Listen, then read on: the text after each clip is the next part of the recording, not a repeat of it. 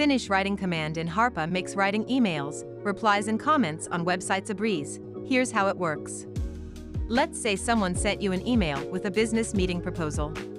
We'll draft a simple reply in Gmail such as, OK, Zoom call tomorrow at 2 p.m., then hit finish writing in the quick access bar and let AI handle the rest. Harpa will locate the text you typed and turn it into a finished email using the context from a web page. Hit paste to copy response back to web page or type follow-up instructions. Finish writing command adapts writing style to the type of website it's been used on, such as Reddit, Twitter and Facebook versus Outlook, ProtonMail, and LinkedIn. You can make AI mimic your style of writing by setting reply tone.